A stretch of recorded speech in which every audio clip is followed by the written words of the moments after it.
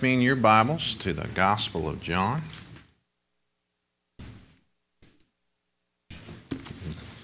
We've had a lot of interruptions, but we're back in the Gospel of John. We're going to look at John chapter 10. Some of you are saying, why is there magnolia leaves all over the church? We had a wedding yesterday. Lauren Webb is no longer Lauren Webb, she is Lauren Sershin.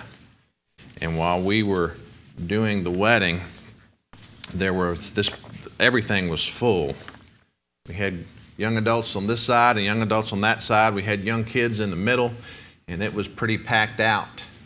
And uh, I noticed something yesterday. I had a wedding, and then my father had a, uh, an engagement down in King William, so we went to the wedding reception, watched Lauren and Zach dance, and then we left and went to my father's. But at both events and at the wedding, there were these little kids, and I, I don't know if I'm becoming a people watcher. I guess that's maybe because I'm getting older, but you, you sit, watch, and ponder. And what I watched yesterday was very interesting. We got to the reception, and there was a, a grandfather holding one of the girls that was in the wedding, and she was squirming and kicking and being strong willed. And she went and get to grandma. Well, she got to grandma, just ran right over. It was done. Granddaddy was forgotten. And then we went to the birthday, and there was young kids there. And I noticed something. Some kids, parents and grandparents, their words have weight. And some parents and grandparents don't. Let me tell you what I mean by weight. I mean they have influence and power and credence with their child. Now, there's a lot of variables for that. So if you're here, I'm not trying to beat you up. I'm just trying to show you what I observed yesterday. I noticed there were some parents that would say, yell, Karen, now stop that. And she would instantly stop. And then there was another one, hey, Heidi, will you stop? Heidi, Heidi, come back. Heidi, come back here. Heidi! And she was gone. Mom was gone. So was Heidi. Gone. There was others that would say, do you do that? No. What do you do? And they do the right thing. And then there was others that were negotiating. Do we? No. No, no, you're not doing it. no, we're not doing it that stop it, stop it, stop it, stop it, stop it, stop. No weight. They had no weight. And our heart goes out to those parents, don't we? Just our heart just breaks. And then we do this. Am I like that? Which parent am I? Now there's a lot of variables for this. Let me just give you some for the parents, just something to think about, something I've observed.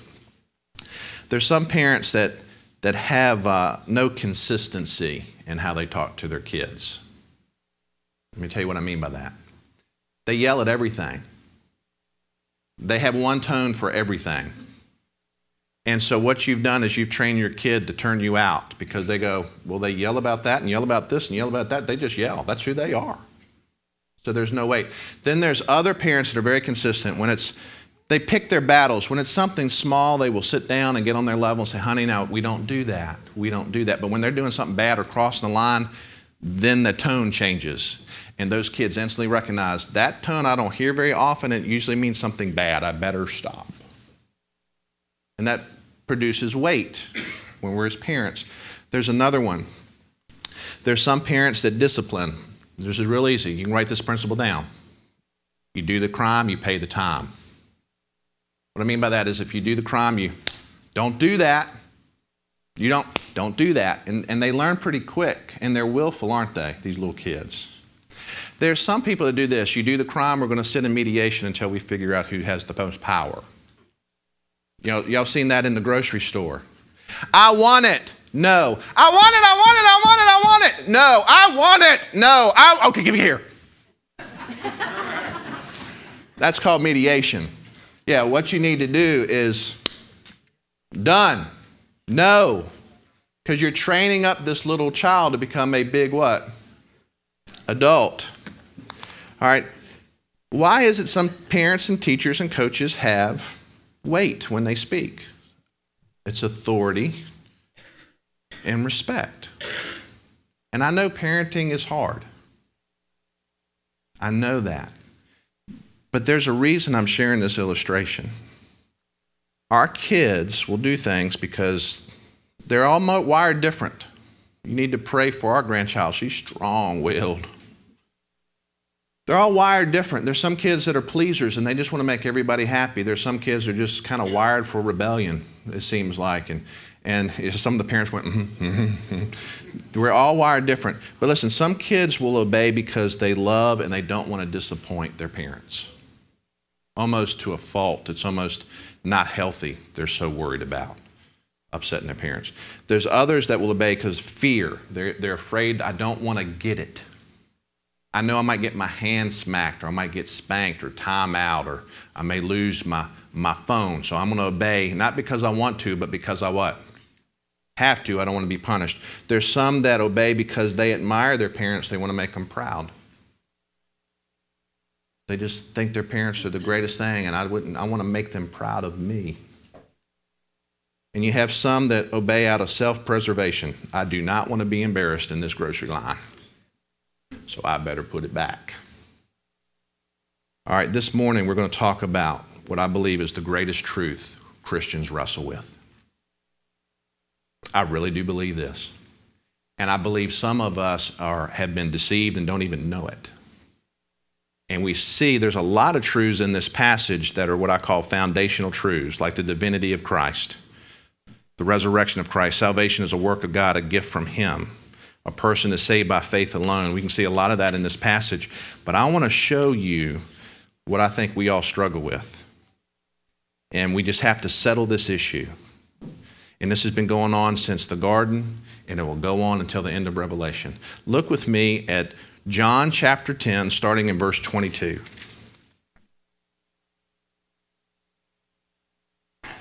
And I'm just going to read and give some commentary, and then we'll share these points. John chapter 10. It says, Now was the feast of dedication in Jerusalem, and it was winter. And Jesus walked in the temple in Solomon's porch. Now, if you don't know what that is, there's a lot of meaning here that you can miss. The feast of, they're talking about feast of dedication, that is a celebration that happened because of a Maccabean revolt. In 165 BC, I'm going to try to say this name because I can see it in my head. I've got it phonetically spelled here, honey. You're going to be proud of me, so I can make sure. It's Antiochus Epiphanes. Came in to the temple and desecrated the altar, desecrated the temple. Now, if you're Catholic, and we have a lot of Catholics here, you have this in your Catholic Bible, the book of Maccabees. And this story is in that book. They decided, the Maccabees decided, we're not going to take it and they started a revolt. And they ended up winning. They ended up bringing Israel a temporary independence, and they dedicated the temple. And they celebrate this every December. It's the Festival of Lights. We know it as what? Hanukkah. They dedicated the temple. And this is what is going on. They had cleansed the temple and they had the Feast of Lights, and it burned, the, the candles burned for, I believe it was eight days. I could be wrong on that. And the oil, even though they didn't have any, it didn't run out. It was a, a miraculous sign, and it was a time of celebration. So they're celebrating that event. Now, I want you to think about this. This is the Feast of Lights, celebrating this, and here Jesus, this whole time we've been talking, this conflict between religious leaders and Jesus, he's been talking about, I am the light of the world. And now the light of the world is where? In the temple. When? At the Feast of Lights. And look what happens in verse 24. Then the Jews surrounded him and said to him, How long do you keep us in doubt? If you are the Christ, tell us plainly. And Jesus answered them, I told you, and you do not believe. The works that I do in my Father's name, they bear witness of me. Now, just in our study of John, and there's a lot more, but just in our study of John, we've looked at Jesus turn the water to wine. We've looked at Jesus heal the official son that was close to death just by speaking it. We watched him heal an invalid by the pool. He's fed 5,000 people. He's walked on water. He's controlled the wind and the waves, and he's healed a man born blind and given him new eyes. That's just in this gospel. So they've seen these things. He's done all those miraculous signs. Look at verse 26. But you do not believe because you were not my sheep. As I've said to you, my sheep hear my voice, I know them, and they follow me. Jesus, throughout his ministry, is going to make this connection between saving faith and following. He does not say you can intellectually just believe it and it's okay and, and do what you want. He says, if you believe, you will follow. If you put your faith in me, you will follow me. They're tied together, they're one and the same. That's why James says faith without works is what? Is dead. You can't say I have faith and not trust God and walk with him. It's together. And that's what Jesus says Sheep hear my voice. I know them. They follow me. Now listen to verse 28 because I want some of y'all to hear this and I give them eternal life. Who gives eternal life? God. And they shall never perish. Now, what does that mean? It's kind of a double saying there together, isn't it? It's almost like Jesus doesn't want you to miss it. Look at it. I missed it the first couple times I read it. I will give them eternal life. Doesn't that assume you're never going to perish? And then he repeats it, and they shall never perish neither shall anyone snatch them out of my hand. If you have genuinely put, have put your faith in Christ and you're following Him and He has given you eternal life, can you lose that? Now, I've had some people tell me this and I just laugh. Well, that verse there, as Pastor says, no one. It doesn't say you can't. Now, don't laugh. They've been brought up in this. That's how they see this. But anyone means what? Anyone, including you. That is a gift. I want you to think about this because I know some of y'all struggle with this. Is salvation an act of man or of God? Can you undo what God has done? Can I be saved by faith and then keep my salvation by works? Because if I do that, salvation then depends on who? Me. So that's the hope of the Christian faith. It's not what I've done, it's what Jesus Christ has done. And Jesus is, is making this clear. Look at verse 29. My Father who has given them to me is greater than all, and no one is able to snatch them out of my Father's hand. I and the Father are one. Now, when he says I and the Father are one, that Greek word, I did not know this till this week, is neuter, not masculine. Well, what does that mean, Pastor? That's interesting. It means when Jesus said that, he is saying, I am of the same purpose, the same essence, the same nature. Me and God are on the same level. Now, look at the response. The Jews caught it and picked it up immediately. Verse 31. Then the Jews took up stones again to stone him, and Jesus answered them, Many good works I've shown you from my Father. Which one of these works do you stone me? And the Jews answered him, saying, for a good work we do not stone you, but for blasphemy, because you, being a man, what? Make yourself out to be God, or make yourself God. They knew exactly what Jesus said, and Jesus said it exactly that way. Now look at verse 34. Now think about this. He's made this declaration. They are getting ready to stone him. That, in today's terms, mean kill you. Jesus doesn't backpedal. He doesn't, he's not a politician. He doesn't change his story. Well, wait a minute. That depends on what the word is, is. He doesn't do any of that. Look what he does. Verse 34 Jesus answered them Is it not written in your law, I said you were gods? if he, talking about God the Father, if he called them gods, to whom the word of God came, and the scripture cannot be broken, do you say of him who the Father sanctified and sent into the world, you were blaspheming because I said I'm the Son of God?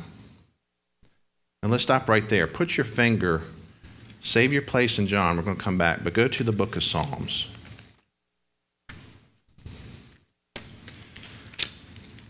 When I was a new Christian and I read this, it confused the dirt out of me.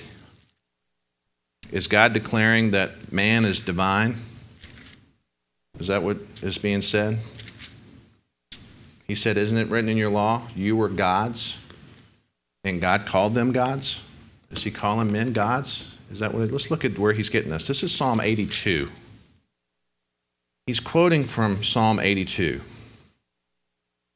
And the title of this psalm, and this the title is part of the Word of God here a plea for justice. There's some titles that have been put in our Bible, especially in the New Testament, but in the Psalms, the titles are given to the Psalms because they're the titles of the song.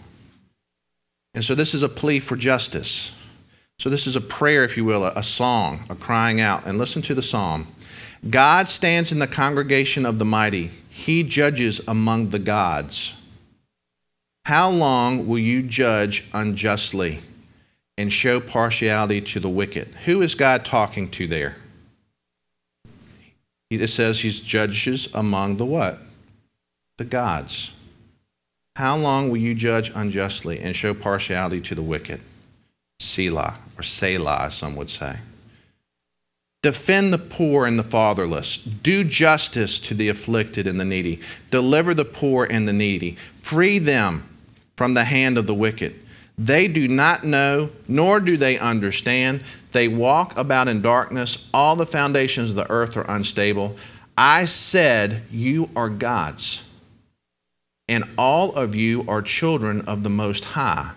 But you shall die like men, fall like ones of princes. Arise, O God, judge the earth, for you shall inherit all the nations.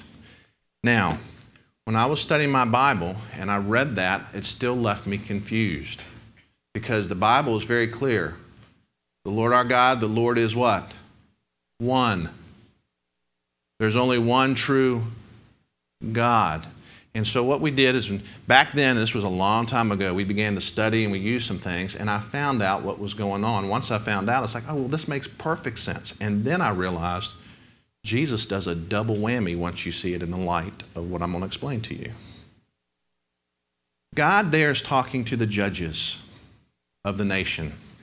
The judges, if you will, were vice regents, if you will. They were put in place of God to judge the nation, to uphold judge, judge, justice, and to do judgments. And what they would use to judge was God's law.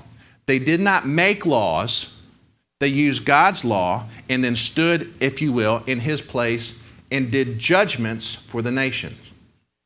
Chuck Swindoll puts it this way The psalmist reminded Israel's appointed judges that they were like little gods and that they had been appointed by the supreme judge to rule in his stead. Therefore, they were not only had the authority, but they were accountable to him. They're to be ruling in God's place. Another one said this he had given them the authority of life and death and to carry out his justice. Now, what Jesus is saying is if you don't have a problem with a judge who God refers to as God, small g, because they're standing in place of him in judgment, here's the double whammy. How can you miss me, who's the Son of Man, and I get to judge the world? He is reinforcing the fact that I am not a mere man. I'm what? I'm God. And they get it because they go to seize him, and he's going to have to break loose and flee. Jesus is saying if the people who were put in charge of God's law and God's word, and God in the Psalms, now this is interesting. In that passage we just read, Jesus says the law comes out of the Psalms. There's a lot in here we miss. And I'm going to hopefully break it up to you and you won't be confused when you leave. Maybe you all leave doing this. What was he talking about? He's saying if those that were entrusted with God's judgment over the nation were considered in his stead as God, and you have no problem calling yourself God because you're judges, why is it after you've seen all I have done and all that I've told you and I have declared to you, why do you have problems with me calling me the Son of God. He is not backing down from this, he is stepping up in their face. And he's used their word against them. The word they'd memorized, the word they had studied, the word that he will eventually say, These things speak of me. We've already studied that in John. If you believe me, you'd believe this word because it comes from my Father. The issue that they had, and the issue that we have, and the issue that Jesus didn't have, was how they viewed the Word of God. Now, let me just give you some things to think about. God gave me something else, a curveball, because there was something I, I, was while I was getting ready this morning. I'm going to share, and I'm guessing it's for somebody here. But listen, Jesus believed every word of the Bible. Every word. He believed the Old Testament was historical, and what many of us believe today as fiction, he believed as fact. Let me give you some. He believed Abel was a real person. I won't quote all these for time, but you can write them down. He believed Abel was a real person because he talks about it in Luke 11, verse 51. He believes that Noah and the days of Noah was real, Matthew 24, verse 37 and on. He believed in Noah and the flood, Luke 17, verse 26 and 27. He believed Abraham was a real person, John chapter 8, verses 56 and 58. He believed Sodom and Gomorrah was a real place and that it was destroyed, Matthew 10 and Luke 10. He believed that uh, Lot's wife was destroyed, Luke 17, 28 through 32. He believed in Isaac and Jacob, Matthew 18, 11, and Luke 13. He believed manna rained down from heaven and was angel food, John chapter 6, verses 31, 49, and 58. He believed in a serpent. He believed in Jonah the whale, Matthew 12, verse 39 and 41. He believed that Daniel and Isaiah were prophets. Now, why do I share that with you? Because many of us kind of come to God's word this way whether we want to admit it to ourselves or not. Parts of it is true, parts of it is not. I'll take what I like and I'll put out what I don't like. Then you have to admit that you are not following Christ in his view of the Bible. You just have to admit that and own that. I'm not doing it the way Christ did, and I don't believe it the way Christ did.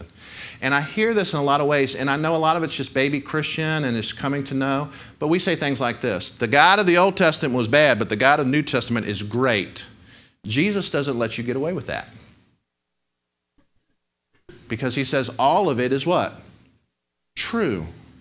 Some of us, I've heard somebody say this I love Jesus and I love the writings of Peter and James. I can't stand Paul, he's a chauvinist. All right, what they're saying says more about what they view God, of their view of God, than of God's Word. Let me say that again. What they are saying is saying more about their view of God than God's Word. Let me tell you what the Old Testament says about God's Word. Every word of God is pure. He is a shield to those who put their trust in Him. Do not add to His words, lest He rebuke you and you be found a liar. And that's Proverbs chapter 30, verses 5 and 6. Psalm 12, 6 says this The words of the Lord are pure, like silver tried in a furnace of earth, purified seven times. You shall keep them, O Lord. Or let me say that again. This is the declaration. You shall keep them, O Lord, meaning He's going to keep it and protect it. You shall preserve them for this generation and forever. Let me give you another one. This is from the Psalm 119, 160. The entirety of your word is truth, and every one of your righteous judgments endures forever. Psalm 119, 160. Jesus says this It is easier for heaven and earth to pass away than for one tittle of the law to fail. That would be like us saying today, even for one comma to be off. All right, now, I got your attention. The Bible declares about itself God is going to protect it, God is going to preserve it, God is going to give it to us for generations, forever. His word is eternal. We will have this book in heaven. God has been the author of it. Here's the truth that we struggle with. Did God reveal His word to men and they recorded it accurately? Or did men just kind of give their opinion and write it down and we have to guess? And each one of us has to make that decision. If you stand here, then you have to erase every verse I just read to you out of your Bible.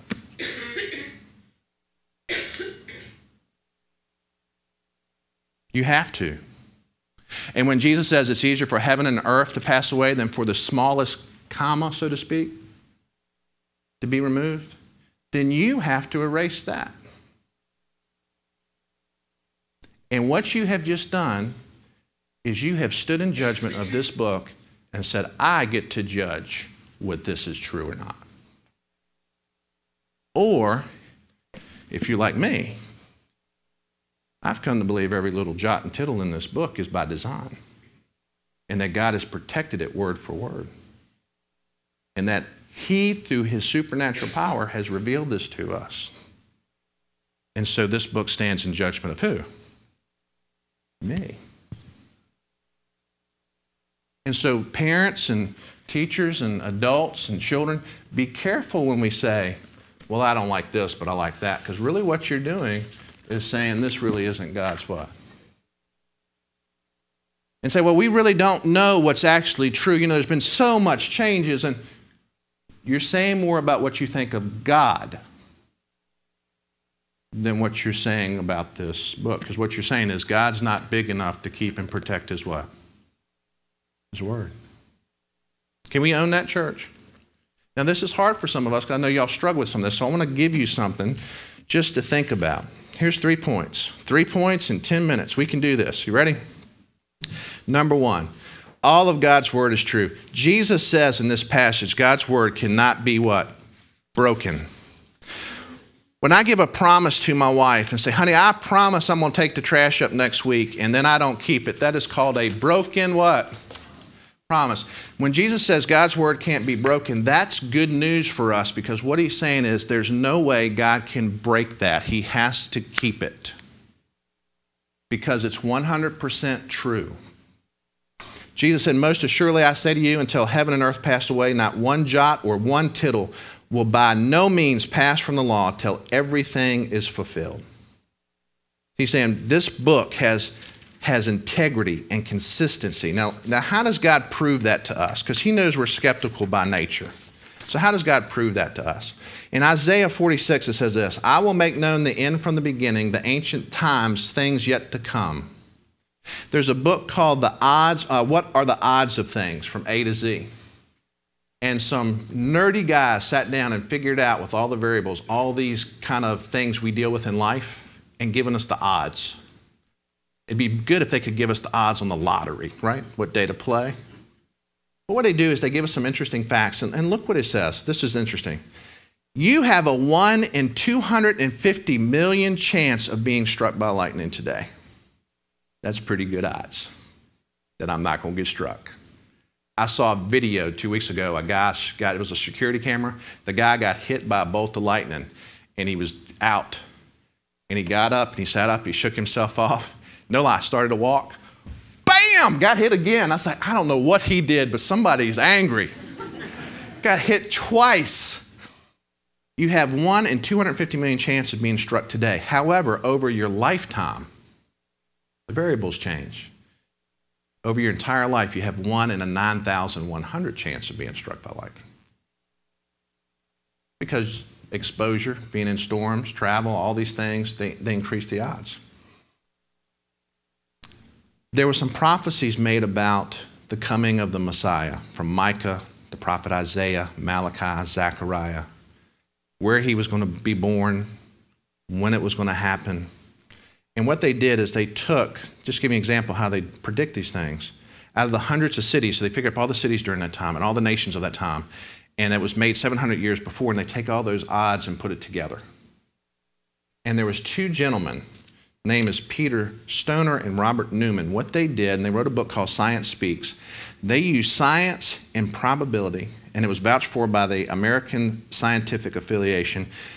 They took eight prophecies about Jesus Christ out of 60 and figured up the odds of him fulfilling eight.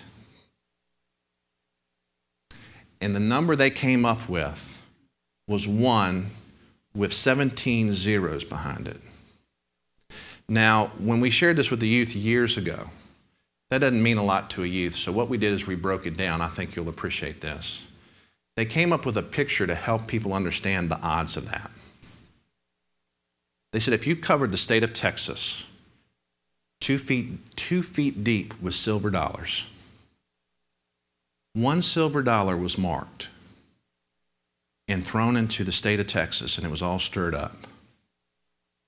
And then they placed you in Texas, I mean in Dallas, and you left from Dallas, and you could walk in any direction you wanted to. And you walked until you felt you wanted to grab one and you stopped and you bent down and you grabbed one and picked it up, the odds of you doing that is the odds of what Christ did, fulfilling the prophecies about himself. The odds are crazy. That's a fancy way of saying there's no way it's a coincidence. Now, why do I share that with you, church? God knows we're skeptical people. And He knows we struggle with truth. And so, what He declared in Isaiah is this I am going to prove to you that this word is true because I'm going to make known the end from the beginning and from ancient times what is still to come. And it's going to happen with 100% accuracy, 100% of the time until the end comes. There's 333 prophecies about Christ. A lot of those are about his second coming. He's fulfilled all of them in his first coming, and the odds of that is incredible. There's over 2,500 prophecies in your Bible, and 2,000 of them have come true, word for word. Why am I driving this home? Because I need you to understand that we can put our trust in his what? Word. Jesus believed it, and we need to believe it too. It is, is it just some true or all true? All true. And if it's all true, that means God has to keep every one of the promises He's given us. He has to have the future unfold as He has declared it. What He has said about Himself is absolutely true, and it should have some authority and weight in our life. The question is do we have Him as our authority and do we respect Him? The second thing I want you to think about is this a child of God is one who desires to know His Word. A Christian should be marked as a listener. We're not very good at that as Christians. Your pastor's sometimes guilty of that. But we as Christians should be listeners, quick to, quick to speak and slow to listen. Is that what the Bible says? Kinston, is that what the Bible says? What does it say? Be quick to listen, slow to speak. We should be listeners and students and learners, and we should be deeply desiring to master this body of truth here. Remember, I've been sharing this, and these are things that I do over and over and over again because I want it in your head. Four sources of authority. Can anybody quote them to me? Feelings, traditions, intellect, and God's Word. And a child of God wants to know the truth so we can get all of those under the authority of God's Word. So when Jesus is in the garden and he's feeling this way, Lord, if there's any other way that we can do this, his feelings were there. He's human. He's all God, but he's human. He's saying, Lord, if there's any other way, if this cup can pass, that's his feeling speaking. But then what does he say? Not my will, but yours. And so there's times that our passions overdrive our mind. Would y'all agree with that? We do things we, we know we shouldn't be doing, but it's like our desires are just out of control. And God says, No, I want my word to come in and counteract that. There's a verse in, in Mark that says this Jesus is speaking. You invalidate the word of God by your traditions, which you have handed down, and you do many things such as that. Mark 7 13. There's some traditions we hold to, and we even do those in the name of God, and they're not under God's word, they're under my authority. And Jesus says, don't do that. There's times that our intellect, we think we know it all. The Bible says there's a knowledge that puffs up and we think we're right and we know what's best and we know how to handle this. And God's word says, no, because my truth produces a sense of humility and humbleness and teachability. It's peaceful, it's pure. How many of y'all know Christians like that? Humble, peaceful, pure, and you can learn from them. And then there's Christians that just know it all and I don't know about you, this is what I do with those. I was cutting you off. I'm, I'm glad you know all that. A child of God should desire to know His Word. And this is the last one. A child of God should obey the Word because it has weight. When Jesus said, You cannot enter into heaven unless you become like a child, He does not mean be childish, but like a child. Yesterday, when they were saying, Hey, come here, sweetie, no, don't do that and they listened and turned, what I noticed, at least in my experience as I was observing that, I did this. What a good parent. That parent is skilled. What a great little girl. She is so sweet. But then the ones I saw doing the mediation and negotiating and stop, stop, stop, stop, stop, stop, I did, this is what I did. That poor soul. Oh, that child is, oh, bad. The Bible says this He who mistreats his father and chases away his mother is a son that causes shame and brings reproach. And the rod of rebuke gives wisdom, but a child left to himself brings shame. Listen, a parent comes and teaches a child this the world doesn't revolve around you, it doesn't. We like it to, but it doesn't. A parent also teaches out this you don't know what's best for you all the time. Cake for breakfast is not good. You do not need help, and you can't do it all by yourself. And God's word comes and says this Larry, you're not the center of all things. Put your name there. Just put your name there. Blank. You're not the center of all things. And I know what's best for you. I know the plans I have for you. And a child who listens not only brings glory to the parent, but to the child. And many of us are stuck because we want to obey in certain parts and we want to disobey in other parts. And God says, if you will just delight yourself in me, I will give you the desires of your heart. You know why we don't want to obey God? The same reason Adam and Eve didn't want to obey God. They're scared they're going to miss out on something. I'll miss out on the joy. If I don't go do that, my friends, I'm going to miss out. They're going to think I'm weird. And God comes and says this My word is true. It's not going to change. If you go do these things, it may you may have some fun, but this is what the, Bible says. There's pleasure in sin for what? For a season, but it leads to what? Death and regret. The things I did that my parents didn't want me to do, some of the stories you've heard, brought hurt into my life that follow me like a shadow, even at 47 years old. If only I'd listened to mom and dad now. But you know what? I knew what was what? What was best? No, they knew what was best, and I should have dumped that girl a long time ago. Here's what I want you to think about as we leave today. Do you really believe God's word is true? And if you do, are you willing to surrender your life and put your life into His hands and submit and obey to that word? Because, church, if we would do that, I really believe in all my heart that not only would our church be better, but Essex County would be better. Is it easy being a Christian and doing that? No, it's not. It's the hardest thing you'll ever do, but it's the best thing you'll ever do. Do I believe that the Bible says that my God is gracious and merciful and his kindness are new every day? Because it's true. Do I believe that I am wonderfully and fearfully made and he desires that none should perish? Because that's true.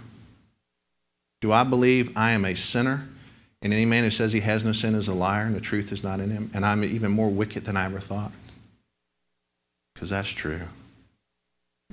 And do I believe I need a Savior and he's not just asking me for, I'm not asking him just for forgiveness so I can go to heaven. I'm putting my life in his hands saying, You can do with me whatever you want. I will follow you. Let's go, Lord, in prayer.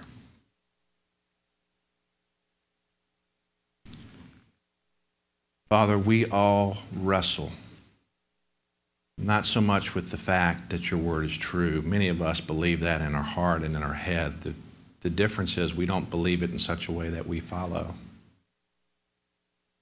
That when we spend our quiet time and you speak to us, that we do what you ask us to do. Or when we're listening to a sermon on the car radio, going to work, and he quotes a verse, and I know I need to go reconcile myself or humble myself or to watch what I say to stop gossiping. We don't believe it's true enough to follow you because we're scared we're going to miss out on something. And yet you tell us if we delight ourselves in Lord, you would give us the desires of our heart. And Father, many of us desire peace and rest, a slower pace. And you desire to give us all of that, but we don't delight ourselves in you. We don't take your word the way we should. Father, help us, including the pastor, to submit ourselves to your word and to believe it. Help us not to be so negative. Help us not to be so jaded by this dark world we're in. Help us to pray for those in authority over us that we may live a peaceable life. Help us to obey. Help us to humble ourselves and to seek your face and to turn from our wicked ways, knowing that you will hear our cries in heaven. You will forgive our sins and you'll heal our land. We love you, Father. In Jesus' name we pray. Amen. Pam, our closing hymn today will be hymn 571. And as we sing this, I want you, I don't want you sitting here to this day, and I'm the same way. I do the same thing. Don't do this. I am so glad they're here. They needed to hear that. I want you to say, God, what did you tell me today, and what do I need to do? And help me to walk it out, live it out. So let's stand and sing as we meditate on that truth and commit some things to Him. Let's stand and sing. Bow our heads. Dear Heavenly Father, I pray as we just sang that we will walk by your side and not in the way. And that what you say we will do, where you send us, we will go. And that we will trust and obey. Father, the reason we don't trust you is because we don't let you have authority and we don't respect you. And forgive us we want our country to be turned around and we want revival, and yet we don't want to follow, and it doesn't work that way. Faith and following go hand in hand. So help us, all of us, to let your word stand in judgment of us instead of us judging your word, and help us to obey as Christ did, to believe every word, to desire to know it, to think and study it, and to obey it so we can bring glory to our Father and not shame. We love you, Father. In Jesus' name we pray. And all God's people said, Amen. Hug somebody before you go home.